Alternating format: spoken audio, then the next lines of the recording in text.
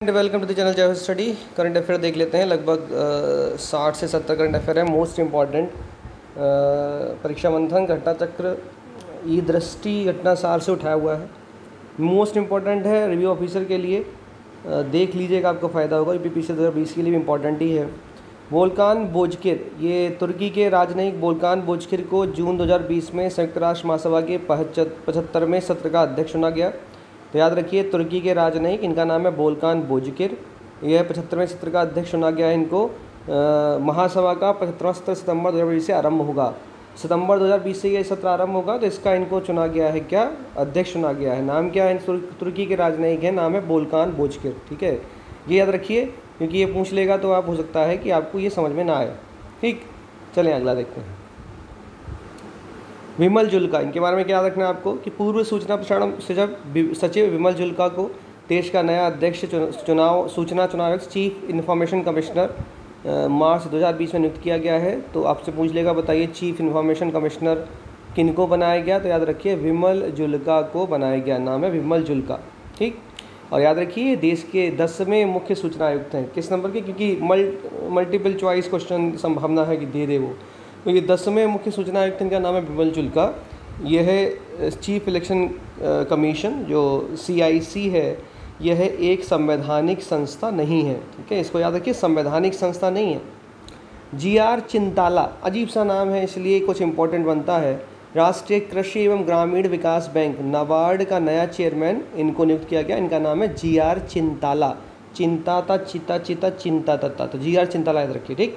Marcos ट्राइजो क्या किया इन्होंने? ब्राज़ील के मार्कोस को 27 मई 2020 को भारत के के वी कामलकी की जगह न्यू डेवलपमेंट बैंक का नया अध्यक्ष नियुक्त किया गया। नाम क्या है इनका? मार्कोस ट्राइजो तो मार्कोस को, मार्कोस अगर आप पुराने ज़माने के होंगे तो आपको मार्कोस से करेक्टर आया करता था टीवी पे तो ये मार्कोस ट्राइजो इनको के वी कामलकी की जगह न्यू डेवलपमेंट बैंक का नया अध्यक्ष नियुक्त किया गया। ठीक है? नेक्स्ट देखिए, आनंद प्रकाश माहेश्वरी आईपीएस अधिकारी आनंद प्रकाश माहेश्वरी ने सीआरपीएफ के नए महानिदेशक का पदभार ग्रहण किया। तो पिछली पीसीएस प्री 2019 में इस प्रकार के प्रश्न देखने को मिले थे। सीआरपीएफ से सबके महानिदेशक पूछ लेता है, इसलिए मैंने इसको रखा। विश्वास रखिए, पढ़िए मोस्ट इंपॉर्टेंट क्वेश्चन रख रहा हूँ। आएँगे ज़रूर। आई कमिट अभियान। क्या है ये? पाँच जून 2020 को विश्व पर्यावरण दिवस के अवसर पर केंद्रीय विद्युत और नवीन एवं नवीनीकरणीय ऊर्जा राज्य मंत्री आर के सिंह ने आई कमिट अभियान की शुरुआत की। यह पहल एक प्रकार के सभी हितधारकों और लोगों से ऊर्जा दक्षता, नवीकरणीय ऊर्जा की दिशा में प्रयास जारी रखने तथा भविष्य में एक मज़बूत तथा लचीली ऊर्जा प्रणाली कायम करने के लिए स्थायित्व स्थापित करने का स्पष्ट आह्वान है। याद रखिए कि ये जो आई कमिट है, ये केंद्रीय विद्युत मंत्रालय के अधीन आने वाली एनर्जी एफिशिएंसी सर्विसेज़ लिमिटेड द्वारा शुरू की गई। पूछ लेगा आपको आई कमिट किसके द्वारा शुरू किया गया? तो केंद्रीय विद्युत मंत्रालय के द्वारा, ठीक? आगे देखते हैं क्या है। क्वेश्चन लिखा हुआ द ग्रेटेस्ट रिसेट समिट ये reset summit the great reset summit theme पर आधारित ट्विन समिट की मेजबानी।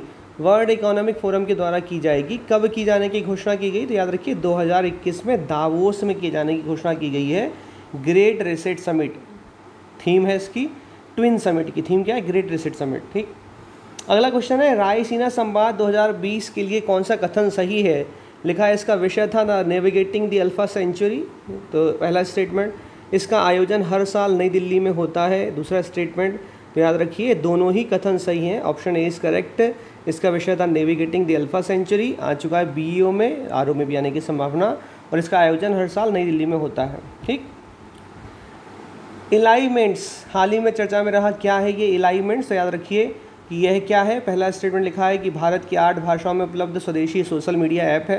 दूसरा लिखा है कि मेंटल जो हमारा क्रस्ट मेंटल कोर है, इसमें एस्थेनोस्फीयर की जानकारी हेतु एक कार्यक्रम है।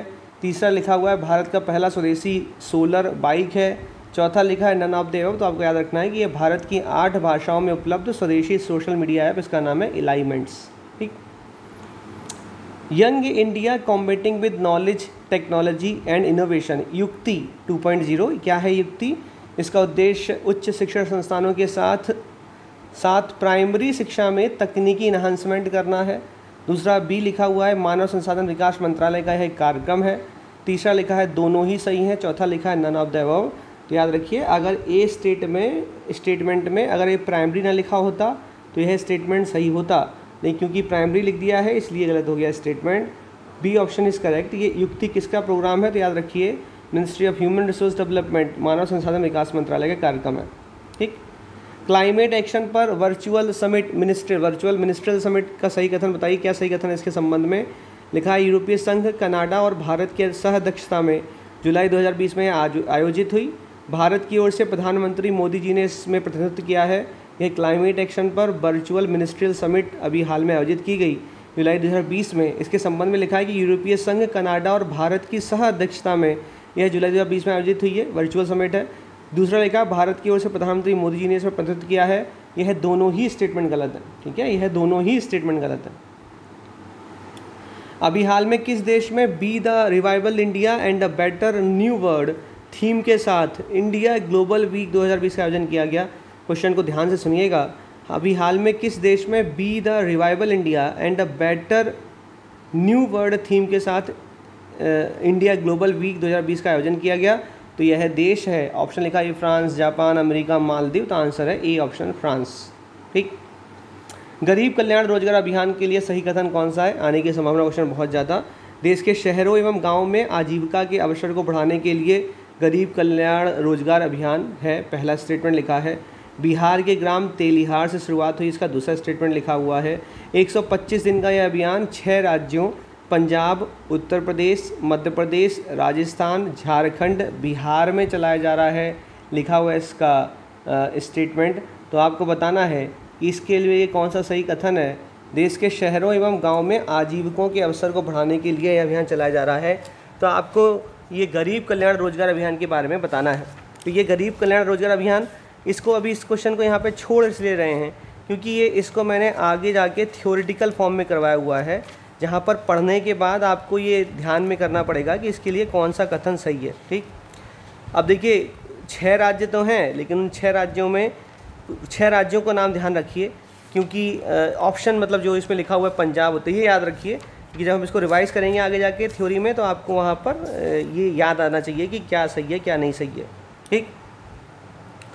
अब ये ऑप्शन इसलिए गलत हो सकता है क्योंकि यहाँ पर मैंने आपको वन टू थ्री दे दिया।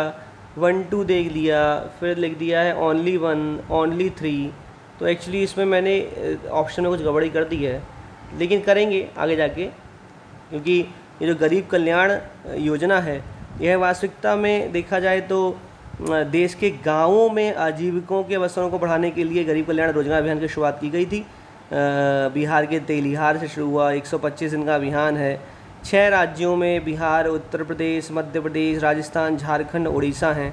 पंजाब नहीं है, मैंने जानबूझकर वहाँ उड़ीसा की जगह पंजाब लिख दिया है और इस शहर भी लिख दिया है। तो गाँव में ये परियोजना शुरू करी, इसलिए उसका ऑप्शन एक्चुअली में ओनली टू होना चाहिए। Tulip the urban learning internship program ये किसके अंतर्गत है? लिखा हुआ है एमएचआरडी के अंतर्गत है। फिर लिखा हुआ है मिनिस्ट्री ऑफ़ फिनेंस के अंतर्गत है। शहरी विकास मंत्रालय के अंतर्गत है।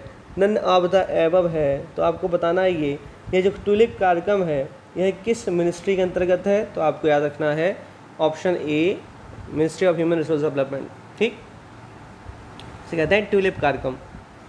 स्वदेश, यह स्वदेश क्या है? लिखा है ए ऑप्शन आर के द्वारा तकनीकी कार्यक्रम, बी ऑप्शन, कौशल मानचित्रण के लिए पहल, सी ऑप्शन, एक ड्रोन जिसे डीआरडी द्वारा बनाया गया, D option none of the above तो यह स्वदेश, एक कौशल मानचित्रण के लिए पहल है। इसका नाम है स्वदेश, ठीक है? S W A D S movie नहीं है ये। हाल ही में चर्चा में रहा साइबोर्ग क्या है? लिखा हुआ ए ऑप्शन कंप्यूटर प्रोग्राम जिसके द्वारा डार्क नेट को भेदना आसान होगा। बी ऑप्शन एक रोबोट जिसमें इंसान का दिमाग और कुछ अंग काम करते हैं। सी ऑप्शन एक हार्मोन जिसके द्वारा मनुष्य की अपनी स्मरण शक्ति खो देता है। और डी ऑप्शन कोरोना वैक्सीन तो आपको याद रखना है कि साइबोर्ग एक रोबोट है जिसमें इंसान का दिमाग और कुछ अंग काम करते हैं। ऑप्शन बी इज़ करेक्ट अगर आप इसके बारे में पढ़ेंगे तो आपको इसके बारे में थोड़ी जानकारी और मिल जाएगी। कोशिश मत करिएगा पढ़ने का। बस याद रखिए साइबोर्ग क्या है? ये एक रोबोट है जिसमें इंसान का दिमाग और कुछ अंग काम करते हैं। पीटर नाम के एक व्यक्ति ने अपने शरीर को उसका जब ख़राब हो गया तो उसने अपने शरीर को कृत्रिम रूप में बदल लिया। पीटर टू पॉइंट ज़ीरो बोला है उसने अपने आप को। तो ये आप क्या रखना है, एक रोबोट है जिसमें इंसान का दिमाग है और कुछ अंग काम करते हैं, ठीक? इसे कहते हैं साइबोर्ग टेक्निक तियानवेन वन क्या है? तो ये तियानवेन वन क्या चीज़ है? चीन का पहला मंगल मिशन, एकदम सही है। भारत के बाद चीन ऐसा करने वाला छठा देश बना है। ये तियानवेन वन के लिए गलत स्टेटमेंट है, इसका सही स्टेटमेंट है ओनली वन मारीच के संबंध में सही कथन क्या है? यह स्वदेशी रूप में विकसित उन्नत एंटी टारपीडो डिवाइस सिस्टम है। एंटी टारपीडो एकदम सही है। इसका डिज़ाइन और विकास डीआरडीओ द्वारा, जबकि उत्पादन बैल के द्वारा किया जाएगा तो यह मारीच के संबंध में दोनों ही कथन सही हैं। इसका डिज़ाइन और विकास डीआरडीओ के द्वारा किया गया है, जबकि इसका उत्पादन भारत इलेक्ट्रॉनिक्स लिमिटेड के द्वारा किया जाएगा। ठीक? नेक्स्ट क्वेश्चन है, कौन सम्मिलित नहीं है? आपको बताना है इंडिया अनलिमिटेड एक किताब जिसका ना, जिसको अरविंद पनगड़िया के द्वारा लिखा गया। बी लिखा है, कोई चोटे, सलमान रजदी। सी लिखा है back stage story behind Indian India's hard growth rate Montek Singh Walia D लिखा है over dropped saving Indian saver Suresh Gangotra के द्वारा। कौन सम्मिलित नहीं है तो ऑप्शन डी सम्मिलित नहीं है, क्योंकि over dropped saving Indian saver ये उर्जित पटेल के द्वारा लिखी गई। ठीक? चमेली देवी पुरस्कार के लिए सही कथन कौन सा है? पहला पुरस्कार उन्नीस सौ इक्यासी में नीरज चौधरी को दिया गया। ये सही स्टेटमेंट है। दूसरा लिखा है 2019 का अरफा खानुम तथा शेरवानी मेनन को दिया गया। अरफा खानुम नाम सही है शेरवानी मेनन नहीं है, मेनन कोई और है, शेरवानी नहीं है ये। अरफा खानुम शेरवानी, अरफा खानुम का पूरा नाम है, अरफा खानुम शेरवानी। तो स्टेटमेंट दो गलत है। चमेली देवी पर्यावरण के क्षेत्र का सर्वश्रेष्ठ पुरस्कार है, ये स्टेटमेंट गलत है। इसका सही आंसर है ओनली वन ऑप्शन डी ठीक तो ये हमारे कुछ करंट अफेयर अब अगले वीडियो पे चलते हैं, क्योंकि अगला इंपॉर्टेंट है। देख लें इसको। एयर बबल ये क्या है? 16 जुलाई 2020 को केंद्रीय नागरिक उड्डयन मंत्री हरदीप सिंह पुरी ने घोषणा की कि भारत, फ्रांस और अमेरिका के साथ, भारत, फ्रांस और अमेरिका के साथ अंतर्राष्ट्रीय वाणिज्यिक उड़ानों के संचालन को फिर से शुरू करेगा। ठीक है, यह एयर बबल की बात ये है एयर बबल तो 16 जुलाई 2020 को ऐसा बोला गया कि भारत, फ्रांस और अमेरिका के साथ अंतर्राष्ट्रीय वाणिज्यिक उड़ानों के संचालन को फिर से शुरू करेगा। तो ये एयर बबल की बात की गई। भारत सरकार ने यूएई में अमेरिका, ब्रिटेन, फ्रांस के साथ समझौते किए हैं। जर्मनी के साथ बातचीत अपने अंतिम चरण में है। तो ये क्या है एयर बबल फिर से एक बार फिर से कॉमर्शियल जो वाणिज्यिक उड़ाने हैं, उनको संचालन करना है। इसके लिए एयर बबल कॉन्सेप्ट बोला गया है। इसको वंदे भारत मिशन का नया अवतार कहा जा रहा है, ठीक? ब्लेजर्स क्या हैं ये? ब्लेजर्स तो ब्लेजर ब्रह्मांड में सबसे चमकदार और ऊर्जावान वस्तुओं में से एक हैं। इनकी ऊर्जा व चमक का कारण विशालकाय ब्लैक होल द्वारा ऊर्जा का उत्सर्जन होता है। तो ब्लेजर्स क्या हैं? सबसे चमकदार और ऊर्जावान वस्तुओं में से एक हैं, ठीक? कि इनसे गामा किरणें उत्सर्जित होती हैं, ये अभी के अध्ययन में पाया गया। आगे बढ़ेंगे क्वेश्चन इंपॉर्टेंट आपके बढ़ते चले जाएँगे। Order of the nine angels क्या चीज़ है? ओ नाइन ए उन्नीस सत्तर में यूके में स्थापित एक शैतानी अराजकतावादी समूह माना जाता है, ठीक? जो अब अमेरिका सहित दुनिया भर में विस्तारित हो चुका है तो ओ नाइन ए का संबंध किस देश से है? तो यूके से है। 9 जुलाई 2020 को संस्कृति मंत्रालय ने राष्ट्रीय पांडुलिपि मिशन के अंतर्गत मंगोलियन कंजूर पांडुलिपियों, बौद्ध विहित पाठ के 108 खंडों के पुनर्मुद्रण की परियोजना शुरू की। तो आपको बताना है कि बताइए, केंद्र सरकार ने राष्ट्रीय पांडुलिपि मिशन की शुरुआत कब की थी? तो 2003 में केंद्र सरकार के द्वारा राष्ट्रीय पांडुलिपि मिशन की शुरुआत की गई। ठीक? नेक्स्ट है, तेईस जुलाई 2020 को रक्षा मंत्रालय ने भारतीय सेना में महिला अधिकारियों को स्थायी कमीशन प्रदान किया। तेईस जुलाई 2020 को ऐसा रक्षा मंत्रालय ने किया है। बताइए, उच्चतम न्यायालय ने कब केंद्र सरकार को ऐसा करने का निर्देश दिया था? तो डेट है 17 फरवरी 2020 नेक्स्ट है पोस्ट कोविड कोच, ये कहाँ पर डिज़ाइन किया गया, किसके द्वारा? तो कपूरथला, पंजाब में डिज़ाइन किया गया। इन कोचों में hands free water tap soap soap dispenser गे गेट व टॉयलेट फ्लैश लगे हैं, जिन्हें यात्री बिना हाथ से छुए ऑपरेट कर सकेंगे। तो ये पोस्ट कोविड कोच कहाँ पर डिज़ाइन किया गया है? कपूरथला, पंजाब। संस्था उनके प्रमुख, मैं आपको गोविंदा राजुलू चिंताला अभी बता चुका हूँ। नाबार्ड के ये प्रमुख हैं। मुख्यालय नाबार्ड का मुंबई में है। सिडबी बैंक का मुख्यालय लखनऊ, मोहम्मद मुस्तफ़ा। भारतीय बीमा विनियामक और विकास प्राधिकरण आई इसका हेडक्वार्टर हैदराबाद में है। सुभाष चंद्र खुंतिया इसके प्रमुख हैं। ये कुछ देख लीजिए तो आपके लिए फ़ायदा रहेगा। चाबहार बंदरगाह कहाँ पर है? चाबहार बंदरगाह, ये ईरान का बंदरगाह है। अभी हाल में भारत की ओर से वित्तीय सहायता में हो रही देरी के कारण चाबार बंदरगाह से जाहेदान के मध्य छः सौ अट्ठाइस किलोमीटर लंबे रेल लाइन के निर्माण कार्य पर आगे बढ़ने का फैसला ईरान ने कर लिया। तो ये आपको याद रखना है कि चाबार बंदर का ईरान। ट्रिनिटी विस्फोट के पचहत्तर वर्ष हो गए। क्या है ट्रिनिटी विस्फोट? 16 जुलाई 1945 को, आज से लगभग पचहत्तर वर्ष पूर्व वैज्ञानिकों ने विश्व के प्रथम परमाणु बम गैजेट का परीक्षण किया था, जिसे ट्रिनिटी टेस्ट के नाम से जाना जाता है। तो ठीक है, विश्व के प्रथम परमाणु बम गैजेट का परीक्षण किया था, जिसे ट्रिनिटी टेस्ट के नाम से जाना जाता है। ट्रिनिटी प्रथम परमाणु सबके प्रथम धमाके का कोड नाम था। ठीक? अगला देखिए। शस्त्र व्यापार संधि आर्म्स ट्रेड ट्रीटी अमेरिका 2019 में बाहर निकला। चीन कह रहा है कि हम उसमें एंट्री करेंगे। तो इस संधि के तहत वैश्विक मानकों के अनुसार पारंपरिक हथियारों की अंतर्राष्ट्रीय बिक्री और हस्तांतरण को विनियमित रेगुलेट किया जाता है आर्म्स ट्रेड ट्रीटी के अंतर्गत। यह संधि संयुक्त राष्ट्र महासभा में यूनाइटेड नेशन ऑर्गेनाइजेशन में 2 अप्रैल 2013 को अपनाई गई थी, जबकि 24 सितंबर 2014 को यह संधि लागू हो गई। यह संधि अंतर्राष्ट्रीय और क्षेत्रीय शांति बनाए रखने के उद्देश्य से शुरू की गई। इसका उद्देश्य देशों के बीच पारदर्शिता और सहयोग को बढ़ावा देना है।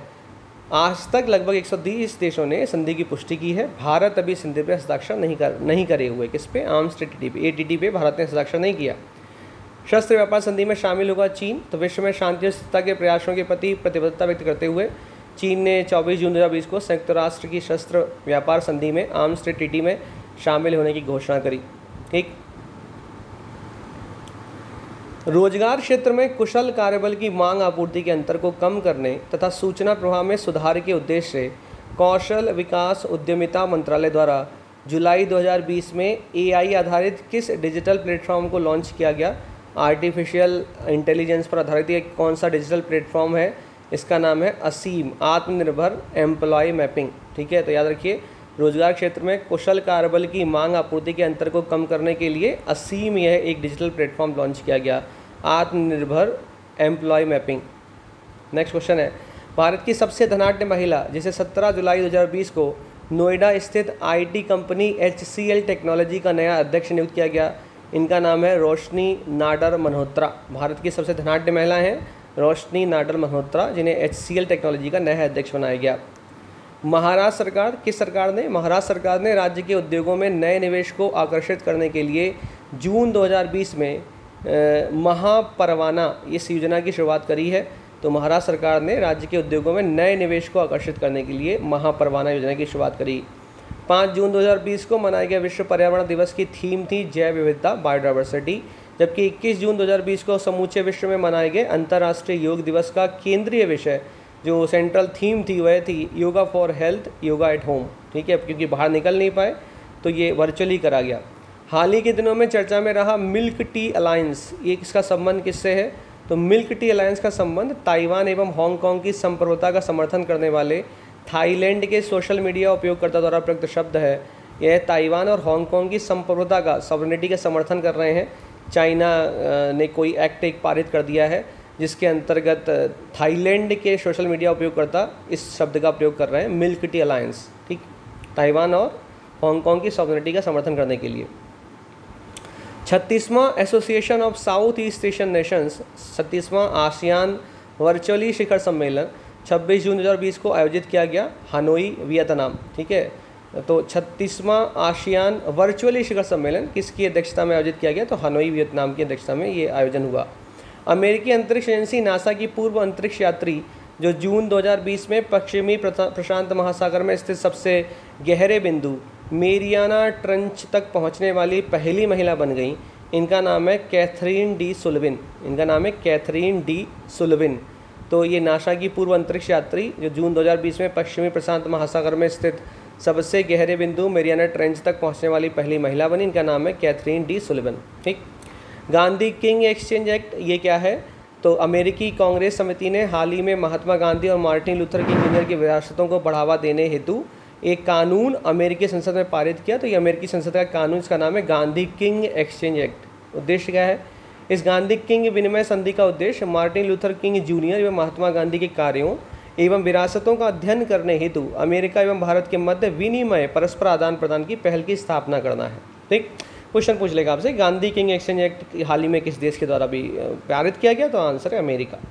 इजराइल यूए शांति, समझौता, इसे क्योंकि अब्राहम समझौता भी कहा जाता है तो आपसे पूछ सकता है कि हाल ही में चर्चा में रहा अब्राहम समझौता किससे संबंधित है, किन दो देशों से संबंधित है? तो आपको ये अब्राहम समझौता बताना पड़ेगा कि संयुक्त अरब अमीरात हाल ही में इसराइल के साथ शांति समझौते पर हस्ताक्षर करने वाला पहला खाड़ी देश बन गया है। गल्फ कंट्री है ये यूएई, जिसने इसराइल के साथ शांति समझौते पर हस्ताक्षर कर दिए हैं।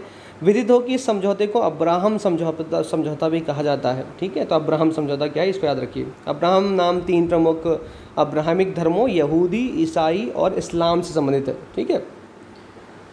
आगे देखें। लिखा हुआ है कि विदित हो कि अभी हाल में बेरूत में एक धमाका हुआ। अमोनियम नाइट्रेट में आग लगी और धमाका हुआ और ये धमाका बहुत दूर तक, ढाई सौ किलोमीटर दूर तक भी सुनाई दिया। लिखा हुआ है कि बेरूत बंदरगाह के वेयर हाउस में लगभग 2750 टन अमोनियम नाइट्रेट मौजूद था। इसके कारण एक बहुत तगड़ा विस्फोट हुआ। तो ये अमोनियम नाइट्रेट एक रंगहीन, गंधहीन क्रिस्टलीय पदार्थ है। यह जल में अत्यधिक घुलनशील है। जल में घुलित अमोनियम नाइट्रेट के घोल को गर्म करने पर यह नाइट्रस ऑक्साइड जिसे हम लोग लाफिंग गैस भी कहते हैं, इसमें बदल जाता है। याद रखिए, अमोनियम नाइट्रेट जब पानी में घुलेगा, घुलनशील है तो ये नाइट्रस ऑक्साइड बनाएगा। नाइट्रस ऑक्साइड को ही हम लोग एन टू को हम लोग लॉफिंग गैस कहते हैं। अमोनियम नाइट्रेट एक अकार्बनिक यौगिक है, ठीक है? इसका रासायनिक सूत्र है N H four N O three तो आपको रासायनिक सूत्र याद रखना है, क्योंकि हो सकता है आपको अमोनियम नाइट्रेट ना देखे, वो N H four N O three ले दे, कि अभी हाल में बेरूत में विस्फोट हुआ तो किस के, किस अकार्बनिक यौगिक के कारण हुआ विस्फोट? तो दो चार नाम लिख देगा तो N H four N O three आपको याद रखना है कि ये जो अमोनियम नाइट्रेट है, इसके कारण हुआ। यह साधारण ताप व दाब पर सफ़ेद रंग का क्रिस्टलेट ठोस है।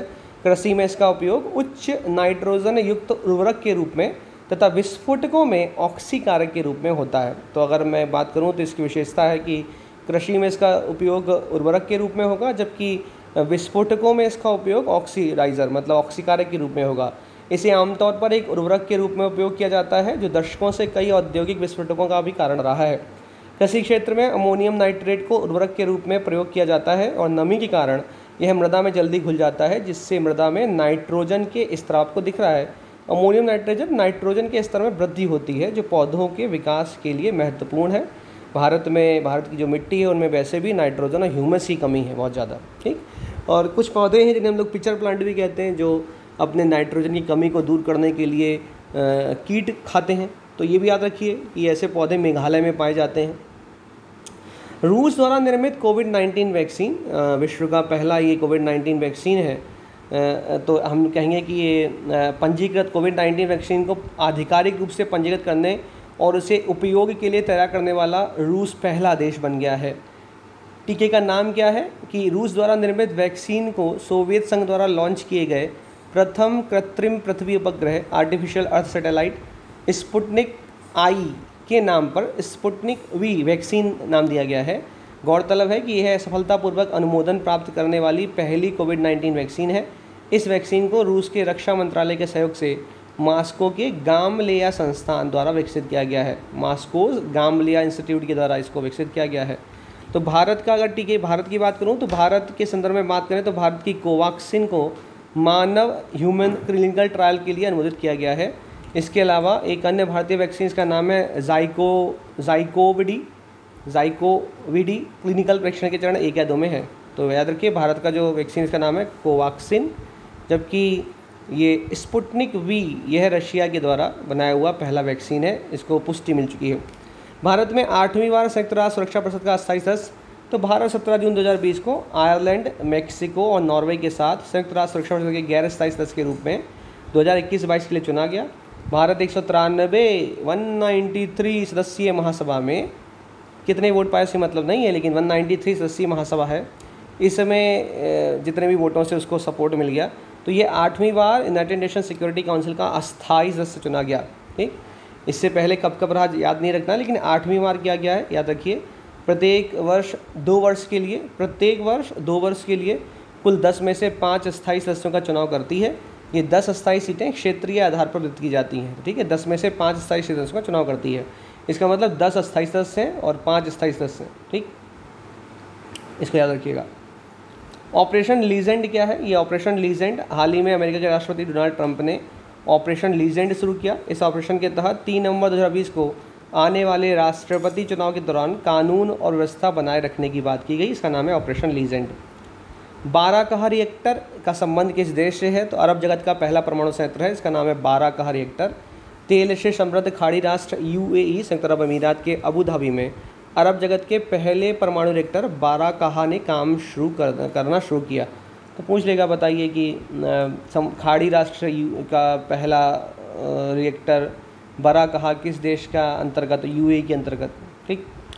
इकतीस मार्च 2020 को किस मंत्रालय ने देश के विभिन्न भागों में फंसे विदेशी पर्यटकों की सहायता के लिए स्ट्रेंडेड इन इंडिया पोर्टल का शुभारंभ किया? तो ये है पर्यटन मंत्रालय, ठीक? छब्बीस मार्च 2020 को केंद्रीय वित्त एवं कारपोरेट कार्य मंत्री निर्मला सीतारमण जी के द्वारा गरीबों के लिए प्रधानमंत्री गरीब कल्याण योजना के तहत कितने लाख करोड़ रुपए के राहत पैकेज की घोषणा की गई? तो इस प्रधानमंत्री गरीब कल्याण योजना के अंतर्गत 1.70 लाख करोड़ रुपए की बात की गई, ठीक है? 1.70 लाख करोड़ रुपए का पैकेज दिया गया।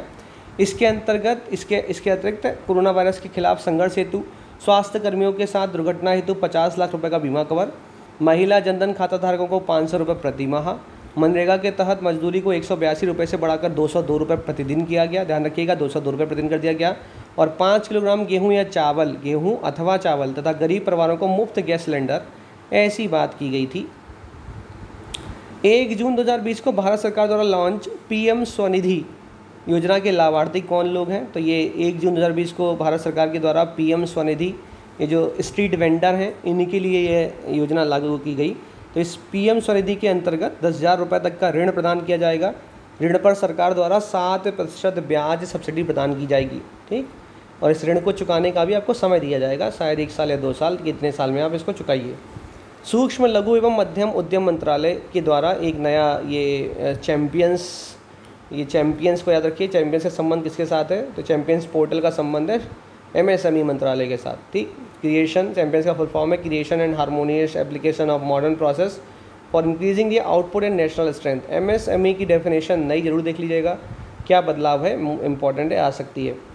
22 अप्रैल 2020 को उच्चतम न्यायालय ने किस राज्य में अनुसूचित जनजाति क्षेत्रों में एसटी शेड्यूल ट्राइब को 100 प्रतिशत आरक्षण को असंवैधानिक घोषित कर दिया तो आंध्र प्रदेश के लिए ऐसा किया गया, क्योंकि आंध्र प्रदेश ने एसटी को 100 प्रतिशत आरक्षण दे दिया था। ठीक दो प्रश्न वहाँ से बन सकते हैं। भारत की पहली ट्रांसजेंडर ऑपरेटर का नाम है जोया खान। ये गुजरात के वडोदरा की रहने वाली Zoya Khan, common service centre में नौकरी पाने वाली भारत की पहली ट्रांसजेंडर ऑपरेटर बन गई। ठीक है? सौ प्रतिशत घरों में एलपीजी कनेक्शन देने वाला हिमाचल पहला राज्य बन गया। याद रखिए, पूछ लेगा कि बताइए, सौ प्रतिशत घरों में एलपीजी कनेक्शन देने वाला कौन सा पहला राज्य बना इसका नाम है हिमाचल हिमाचल प्रदेश, ठीक? जयराम ठाकुर जी ने ऐसी घोषणा करी है। गरीब कल्याण रोज़गार अभियान, मैंने आपको पहले भी बताया कि 20 जून 2020 को प्रधानमंत्री नरेंद्र मोदी के द्वारा वीडियो कॉन्फ्रेंसिंग के माध्यम से देश के गाँवों में, शहरों में नहीं, गाँवों में आजीविका के अवसरों को बढ़ाने के लिए गरीब कल्याण रोज़गार अभियान की शुरुआत की गई। पहला स्टेटमेंट तो यही आएगा। यह अभियान बिहार के खगड़िया ज़िले के ग्राम तेलिहार से शुरू किया गया। दूसरा स्टेटमेंट यह आएगा। तीसरा लिखेगा रहेगा 125 दिन का यह अभियान यहाँ पर हो सकता है। वो 150 दिन लिख दे 200 दिन लिख याद रखिए 125 दिन का यह अभियान छः राज्य, कौन से? बिहार, उत्तर प्रदेश, मध्य प्रदेश, राजस्थान, झारखंड, उड़ीसा के 116 जिलों में चलाया जा रहा है। राजीव टोपनो, मैं आपको पहले ही बता चुका हूँ ये राजीव टोपनो प्रधानमंत्री के निजी सचिव, उन्नीस सौ छियानवे बैच के गुजरात कैडर के आई अधिकारी इन्हें 2020 में विश्व बैंक में वरिष्ठ सलाहकार के पद पर नियुक्त किया गया। इनका नाम है राजीव टोपनो। बालकन बोजकिर मैंने आपको ये पहले ही बता दिया है। हरीश सालवे के बारे में बीओ में आना चाहिए था नहीं आया। हो सकता आर में आ जाए। इनको क्यून आ, कानूनी सलाहकार महारानी एलिजाबेथ ने नियुक्त किया है तो याद रखिए हरीश सालवे। कादियाम आंध्र प्रदेश के राजमुंद्री स्थित कादियाम रेलवे स्टेशन को जनवरी 2020 में दक्षिण मध्य रेलवे जोन का पहला सौर संचालित रेलवे स्टेशन घोषित किया गया। नाम क्या है? कादियाम। कहाँ पे है? आंध्र प्रदेश। फ्रूट ट्रेन, मैं बता चुका हूँ पहले ही। तीस जुलाई 2020 को ब्रिक्स पर्यावरण मंत्रियों की छठी बैठक वीडियो कॉन्फ्रेंस के माध्यम से किस देश की अध्यक्षता में संपन्न हुई? तो रूस की अध्यक्षता में ऐसा हुआ। आठ जुलाई 2020 को थाईलैंड के मंत्रिमंडल ने सिविल पार्टनरशिप एक्ट और सिविल एंड कॉमर्शियल कोड नामक दो विधेयकों के मसौदों को मंजूरी दी। इससे किस विषय को कानूनी मदद दी जा सकेगी? तो आपसे पूछ लेगा कि अभी हाल में एक देश में सिविल पार्टनरशिप एक्ट और सिविल एंड कमर्शियल कोड नामक दो एक्ट को मंजूरी दे दी गई। उनके मसौदों को मंजूरी दे दी गई। ऐसा किस देश में हुआ, जो कि समलैंगिक प्रेम संबंधों पर आधारित थे। तो आप कहेंगे ऐसा थाईलैंड में हुआ, ठीक है? थाईलैंड में हुआ। वर्चुअल वैश्विक वैक्सीन शिखर सम्मेलन। ये वर्चुअल वैश्विक ग्लोबल वैक्सीन समिट सम्मेलन 2020 ब्रिटेन की मेज़बानी में ये हुआ, ठीक है? तो याद रखिएगा, ब्रिटेन की मेज़बानी में ऐसा हुआ। 26 जून 2020 को छत्तीसवां आसियान शिखर सम्मेलन, वीडियो कॉन्फ्रेंसिंग के ज़रिए कहाँ आयोजित हुआ? तो हनोई, वियतनाम, ठीक है? Hanoi, Vietnam. बाईस जून 2020 को केंद्रीय सूचना एवं प्रसारण मंत्री प्रकाश जावड़ेकर ने कांस फ़िल्म फेस्टिवल में वर्चुअल इंडिया पवेलियन का उद्घाटन किया। इस वर्ष, इस महोत्सव में किन दो फ़िल्मों को भारत की तरफ़ से आधिकारिक प्रविष्टि के रूप में भेजा गया? तो इस वर्चुअल इंडिया पवेलियन का उद्घाटन करते हुए दो फ़िल्में जो भेजी गई, एक तो हिल्लारो और दूसरी है Mai Ghat crime number one zero three slash two hundred, ठीक है?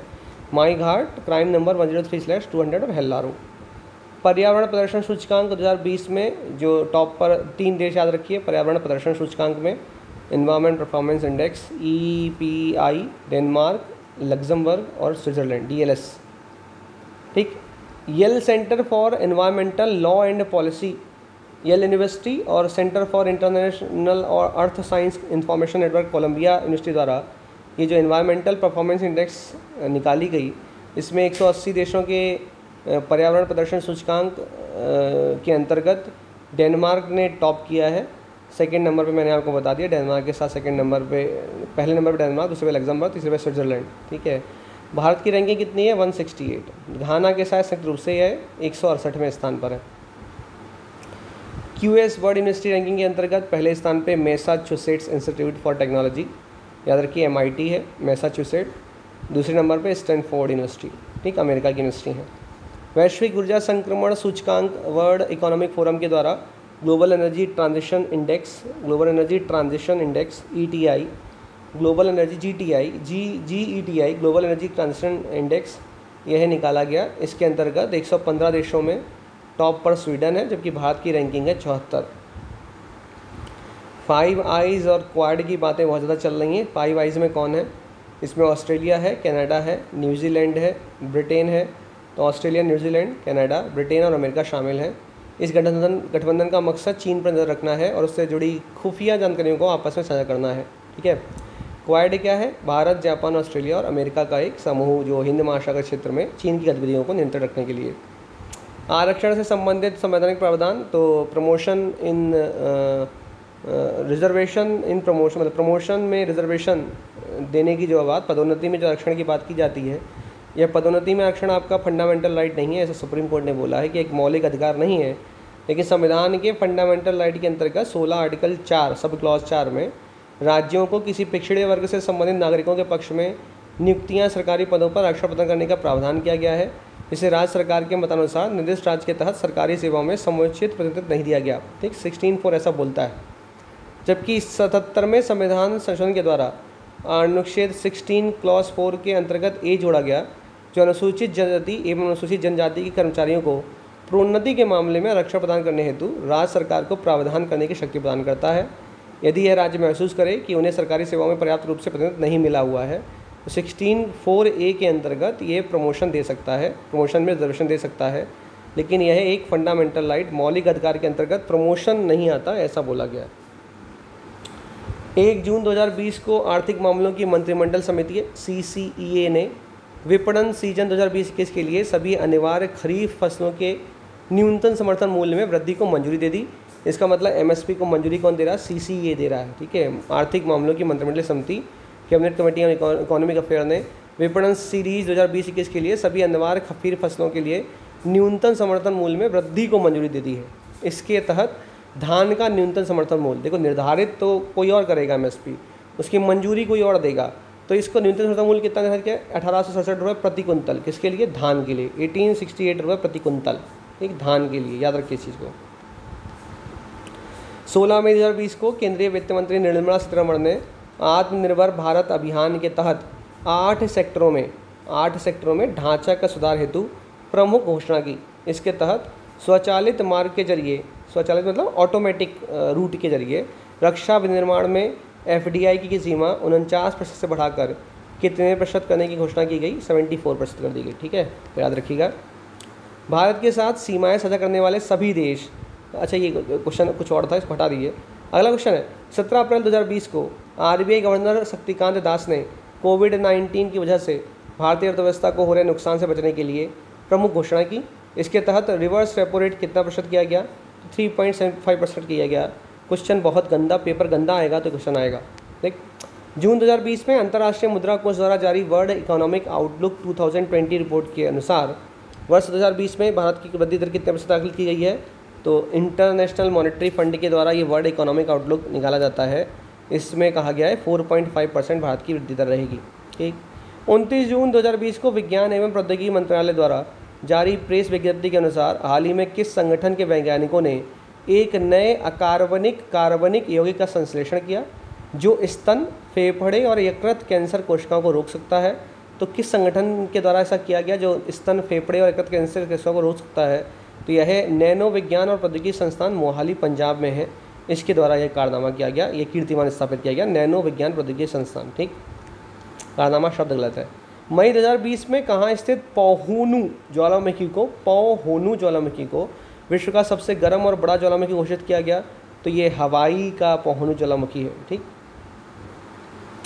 अप्रैल 2020 में भारतीय चिकित्सा अनुसंधान परिषद द्वारा कोविड 19 के लिए पूल परीक्षण मतलब पूल परीक्षण कर सकते हैं। इसकी अनुमति प्रदान करने वाला देश का पहला राज्य कौन सा बना? आएगा यह उत्तर प्रदेश। ठीक। 25 मार्च 2020 को विज्ञान एवं प्रौद्योगिकी मंत्रालय की प्रेस विज्ञप्ति के अनुसार पुणे स्थित अगारकर रिसर्च इंस्टीट्यूट, पहले तो यही याद रखिए कि अगारकर रिसर्च इंस्टीट्यूट पुणे में है। किस फ़सल की बायोफर्टिफाइड किस्म मैक्स विकसित की? तो आपके आरओ में तो क्वेश्चन आ सकता है कि मैक्स किसकी फ़सल है? तो गेहूँ की एशिया के सबसे बड़े सोलर प्लांट का उद्घाटन हो गया 10 जुलाई 2020 को। वीडियो कॉन्फ्रेंसिंग के ज़रिए मोदी जी ने ऐसा उद्घाटन किया। एशिया का सबसे बड़ा सोलर प्लांट इसका नाम है सात सौ पचास मेगावाट का Rewa ultra mega solar plant ठीक? मध्य प्रदेश के रीवा ज़िले के गुण तहसील में है। एशिया के सबसे बड़े सिंगल साइड सौर ऊर्जा संयंत्र में से एक है। 250 मेगावाट की तीन और उत्पादन इकाइयाँ स्थापित की गई यहाँ पर। भारत में पहली नदी के नीचे निर्मित नदी के नीचे निर्मित होने वाली सड़क परिवहन टनल, ये पहले नंबर की है। तो भारत चीन तनाव के बीच केंद्र सरकार ने ब्रह्मपुत्र नदी के नीचे 14.85 किलोमीटर टनल बनाने की सैद्धांतिक मंजूरी दे दी गई। यह देश की पहली नदी के नीचे बनने वाली सड़क परिवहन टनल है, जो पूर्वी चीन की ताईहू झील के नीचे बन रही है। पूर्वी चीन की ताईहू झील के नीचे बन रही है। सड़क परिवहन टनल से अधिक लंबी है। तो चीन भी बना रहा है ऐसी झील के नीचे एक टनल दस पॉइंट नौ, सात नौ किलोमीटर लंबी, लेकिन भारत ने चौदह दशमलव आठ पाँच किलोमीटर लंबी एक टनल विकसित करने की बात कर दी है। तो ये पहली ऐसी है टनल। ठीक, आगे चलें। विवाद से विश्वास स्कीम क्या, किससे संबंध है इसका? तो अप्रत्यक्ष करों के मामलों में मुकदमेबाजी से एवं विवादों को कम करने के लिए सबका विश्वास स्कीम पिछले वर्ष 2019-20 के बजट में लाई गई थी, जिसमें 1.89 लाख से अधिक मामलों का निपटान किया जा सका था। प्रत्यक्ष करों के लगभग 4.83 लाख मामले विभिन्न अपीलीय मंचों एवं न्यायालयों में लंबित हैं। इन्हें कम करने के लिए विवाद से विश्वास नाम से एक योजना इस वर्ष बजट में प्रस्तुत की गई है। इस स्कीम के अंतर्गत करदाता को केवल विवादित कर राशि का ही भुगतान करना होगा ठीक है? तो विवाद से विश्वास स्कीम का संबंध टैक्स से है। वित्त मंत्री ने वर्ष 2020-21 के बजट को तीन भागों में तीन केंद्रीय विषयों पर आ, मतलब केंद्रित बताया है। जिसमें पहला है महत्वाकांक्षी भारत एस्पिरेशनल इंडिया। दूसरा है इकोनॉमिक डेवलपमेंट और तीसरा है केयरिंग सोसाइटी ठीक है? ये भी आ सकता है कि इनमें से कौन नहीं है। तब आप परेशान होंगे पता नहीं क्या बताना क्या नहीं बताना इसमें। आगे देखिए। कहीं पीछे हम लोग चले गए, खो गए। हैं पहुँच रहे हैं, परेशान नहीं होंगे पहुँच गए पहुँच गए पहुँच गए। कहाँ पहुँचे?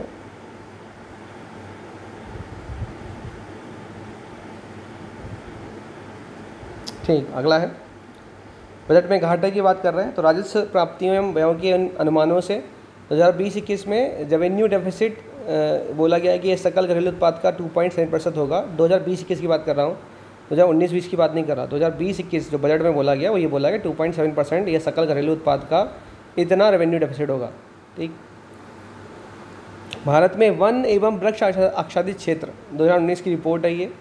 यहाँ पे याद रखिए कि कुल वन क्षेत्र इक्कीस दशमलव छः सात प्रतिशत है। कुल वन क्षेत्र की बात कर रहा हूँ।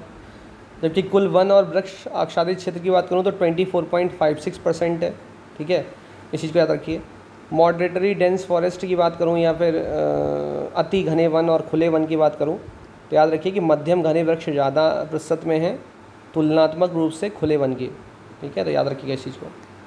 विभिन्न राज्यों में कच्छ वनस्पति मैनग्रोव की बात अगर की जाए तो मैं ये आपको शायद बता चुका हूँ, पहले भी करंट में, कि सबसे अधिक अगर मैनग्रोव क्षेत्र की बात की जाएगी तो पश्चिम बंगाल में सबसे अधिक मैनग्रोव क्षेत्र है। ठीक?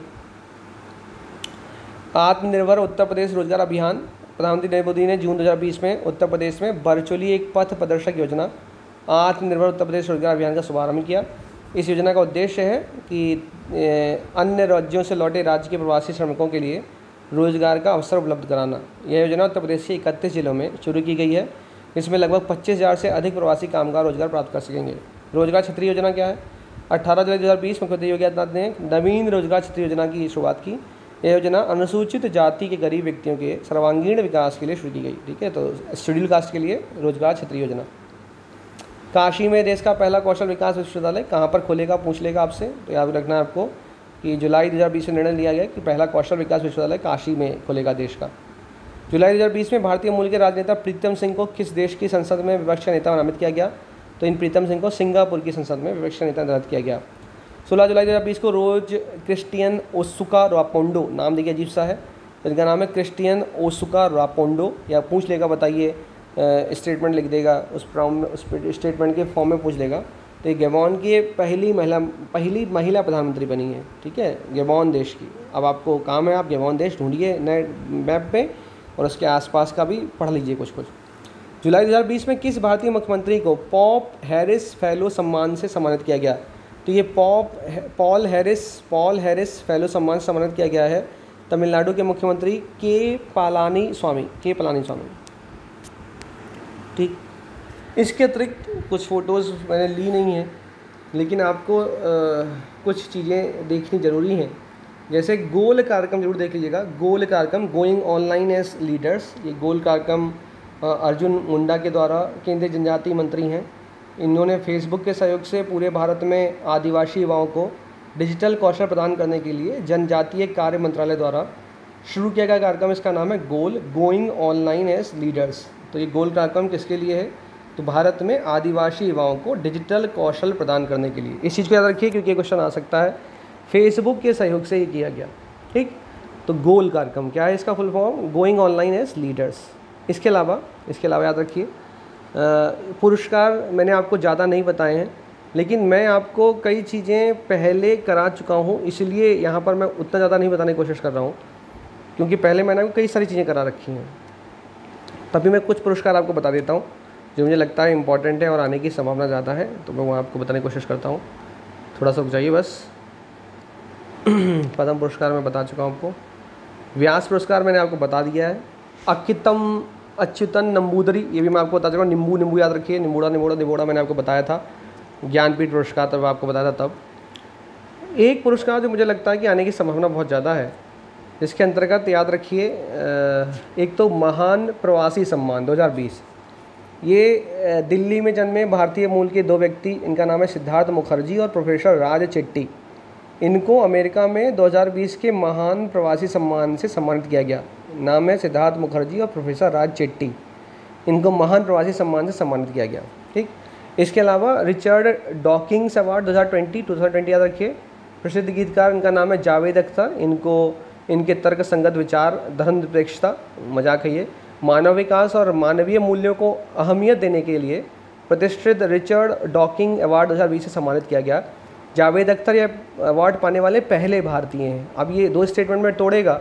रिचर्ड डॉकिंग्स अवार्ड अभी हाल में जावेद अख्तर को दिया गया। दूसरा स्टेटमेंट लिख देगा कि रिचर्ड डॉकिंग्स अवार्ड यह पाने वाले जावेद अख्तर तीसरे व्यक्ति हैं, दूसरे व्यक्ति हैं, याद रखिए, पहले व्यक्ति हैं, ठीक? इसके अलावा याद रखिए कि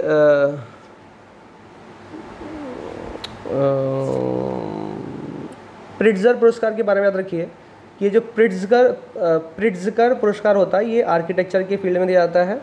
जबकि पुलिसर पुरस्कार यह पत्रकारिता, साहित्य, ड्रामा और संगीत के क्षेत्रों में दिया जाता है, ठीक?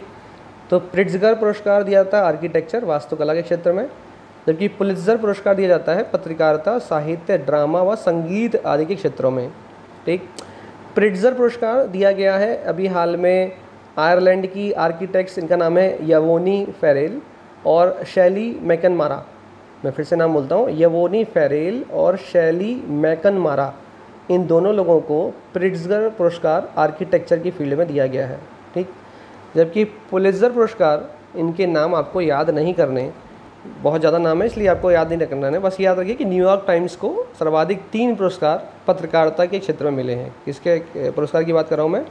नाम है पुलिजर पुरस्कार, जो पत्रकारिता, साहित्य, ड्रामा और संगीत आदि क्षेत्रों में दिया जाता है। अलेक्जेंडर डेल रिम्पल पुरस्कार। ये अलेक्जेंडर डेल रिम्पल पुरस्कार यह है भारतीय नौसेना जल सर्वेक्षण के मुख्य सर्वेक्षक, वाइस एडमिरल विनय बधवार को हाल ही में अलेक्जेंडर डेल रिम्पल पुरस्कार 2019 से सम्मानित किया गया। ठीक? उन दो, हिंद महासागर में इनके उल्लेखनीय कार्य हेतु ऐसा इनको पुरस्कार दिया गया। इसके अलावा अभी भी मोस्ट इंपॉर्टेंट मैंने आपको नहीं बताया मोस्ट इंपॉर्टेंट मैं आपको अभी तक नहीं बताया, मैं बताने जा रहा हूँ। ये अवार्ड आने की संभावना मैं पहले बता चुका हूँ। तमिलनाडु के मुख्यमंत्री को पॉल हैरिस फेलो सम्मान मिला। इसके अतिरिक्त अमृत सेन को जर्मन बुक टुडे का शांति पुरस्कार दिया गया 2020 का।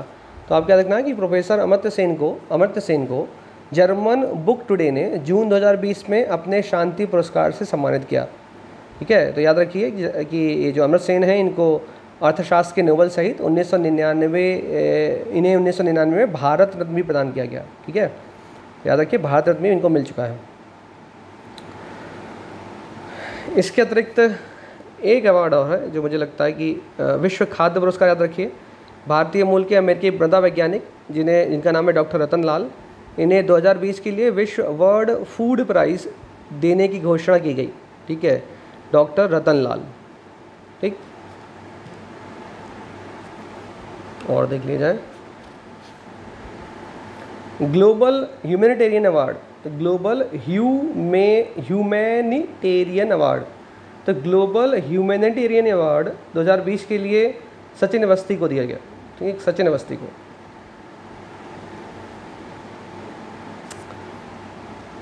बाकी आपको स्पोर्ट्स के पुरस्कार खुद देखने जो आप देख लीजिएगा, वरना मैं पुरस्कार का एक अलग से वीडियो डाल दूँगा, ज़्यादा अच्छा रहेगा। मैं पुरस्कार का एक अलग से वीडियो डाल दूँगा अपॉइंटमेंट और पुरस्कार का वो आपके कवर कर लेगा। आ, कल तक डाल दूँगा तब तक आपका प्रश्न है। या ब्लैक मम्बा ये कौन है ब्लैक मम्बा इनका आ, निधन हो गया हेलीकॉप्टर दुर्घटना में। इनको ब्लैक मम्बा कहा जाता था। तो ये आपको देखना है कोबे ब्रायंट की बात मैं कर रहा हूँ कोबे ब्रायंट को ब्लैक मम्बा कहा जाता था। ठीक है? एक चीज़ और याद रखिए क्रिकेट के क्षेत्र फ़ील्ड में कि कोविड 19 के बाद लगभग एक सौ तैंतालीस वर्ष के इतिहास में पहली बार कोई टेस्ट मैच कोविड 19 महामारी के कारण बिना दर्शकों के खेला गया। यह टेस्ट मैच इंग्लैंड और वेस्ट इंडीज़ के बीच साउथ साउथ साउथ कैम्पटन के रोज बाउल स्टेडियम में खेला गया। साउथहैम्पटन सॉरी साउथहैम्पटन के रोज बाउल स्टेडियम में खेला गया। इस तरह कोरोना वायरस के कारण 117 दिन बाद अंतर्राष्ट्रीय क्रिकेट की वापसी हुई। क्वेश्चन पूछ लेगा आपसे कि कोविड 19 के चलते 117 दिनों के बाद अंतर्राष्ट्रीय क्रिकेट की वापसी हुई। तो किन दो देशों के बीच ये, ये टेस्ट मैच खेला गया। इंग्लैंड और किन दो देशों की टीमों के बीच ये टेस्ट मैच खेला गया तो इंग्लैंड और वेस्ट इंडीज। विजिडेन क्या है? ये तो क्रिकेट की बाइबल कहते हैं इसे ब्रिटिश की ये वार्षिक पत्रिका इसका नाम है विजिडेन। ठीक है? याद रखिए विजिडेन को क्रिकेट की बाइबल कहा जाता है। रणजी अभी मैं आपको पढ़ा चुका हूँ पहले कि सौराष्ट्र जीता था तो इसको जानने की ज़रूरत है नहीं। एक एक क्वेश्चन जो आने की संभावना जो बी में नहीं पूछा गया, मुझे लगता था कि आना आना चाहिए। एक बच्चे ने आडवाणी जी को हराया है। याद रखिए कि यह 10 फरवरी 2020 को राष्ट्रीय स्नूकर चैम्पियनशिप खेला गया।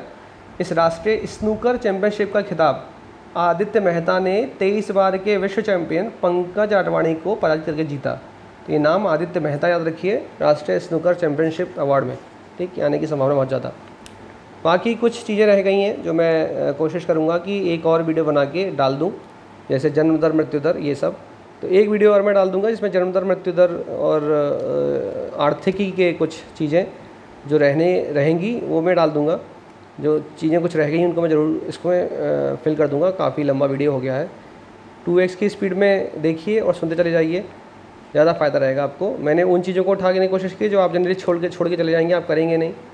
पढ़ते रहिए, करते रहिए और पहले के जो मेरे वीडियो पड़े हुए हैं करंट अफेयर के, उसको ज़रूर देख लीजिएगा। मेरे वीडियो पड़े हुए हैं करंट अफेयर के कई सारे, उनको ज़रूर देख लीजिएगा, आपको फ़ायदा होगा।